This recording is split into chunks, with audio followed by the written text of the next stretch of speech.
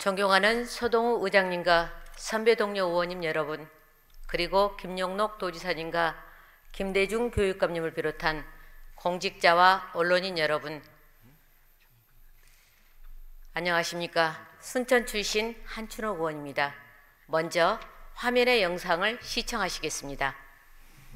우크라이나 사태가 장기화되면서 국제 밀 가격이 올해만 60% 넘게 뛰었죠. 설상가상으로 세계 2위 밀 생산국인 인도마저 최근 수출을 금지했습니다. 이젠 식량이 무기가 된 겁니다. 우린 밀 자급률이 0.8%. 이러다간 라면도 못 먹게 생겼습니다. 장명훈 기자가 현장에 다녀왔습니다.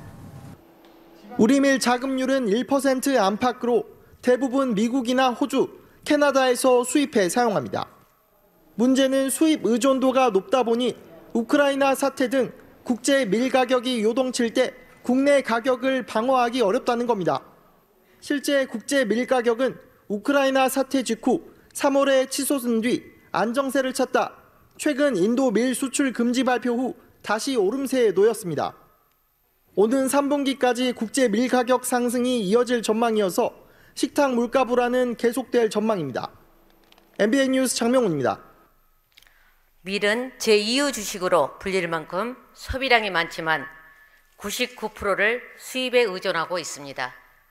쌀 소비량은 매년 줄어든 반면 밀 소비량은 70년도 1인당 13kg에 불과했지만 2000년도에는 33kg로 매년 증가하고 있는 추세입니다. 시중에 판매하는 빵 100여 개 중 국산 밀로 만든 빵은 단 한 개도 찾아보기 힘든 실정입니다. 지난 20년 농식품부에서 밀산업 발전 기본 계획을 수립하여 25년까지 밀 자급률 5%, 30년에는 10%를 달성하겠다는 목표와 함께 생산단지 규모화 및 지속 가능한 밀산업 육성 시행 계획을 발표하였습니다. 그러나 그 내용을 살펴보면 아주 미흡합니다.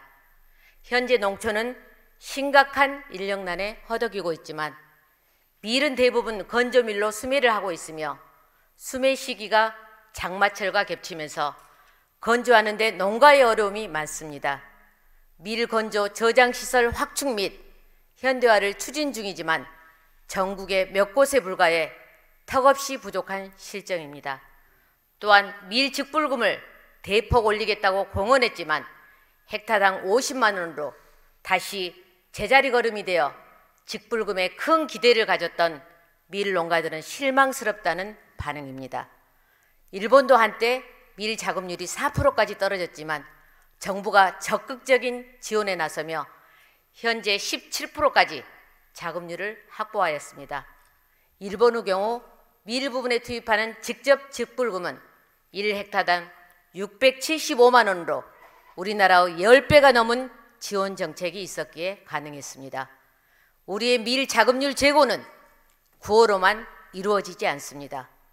정부의 직불금을 포함한 실효성 있는 정책이 빠르게 추진되어야 합니다.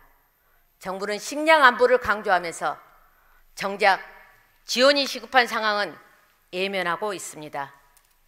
밀산업 육성 계획을 단순히 먹거리 문제로 여겨서는 안 됩니다. 식량 주권을 잃은 나라는 사회적, 정치적, 문화적인 주권을 보장받을 수 없습니다. 기후변화, 전쟁 등으로 예측할 수 없는 식량 위기 상황이 현실이 되지 않도록 식량 주권과 안전한 먹거리를 지키는 일에 정부와 농도 전남이 발빠르게 대처하시기를 바랍니다. 이상으로 5분 발언을 마치겠습니다.